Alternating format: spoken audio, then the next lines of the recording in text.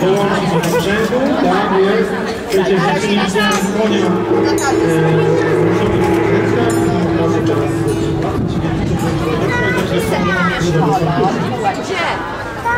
rękach,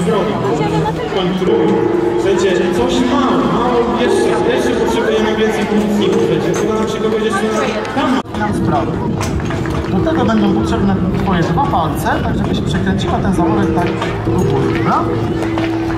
Mamy gdzieś mikrofon. Jakieś brawa? Czy jesteś zadowolona z tego eksperymentu? Dzięki bardzo. A, jak jednak to, ja trochę siły w palcach jest masz. Dobra, słuchajcie, to nam się udało. Teraz słuchajcie, czy ktoś z Was Elka.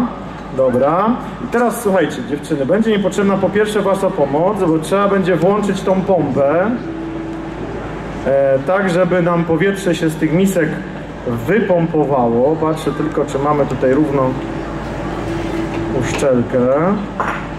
Ok, dobra. Podpinamy. I teraz słuchajcie, trzeba tutaj włączyć pompę. Tu jest taki czarny przycisk z tej strony. Super, dobra.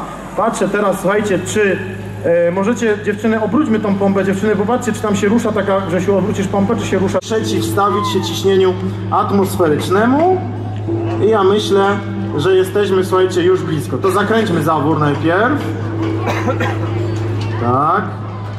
W drugą stronę. Ok. Zawór zakręcony.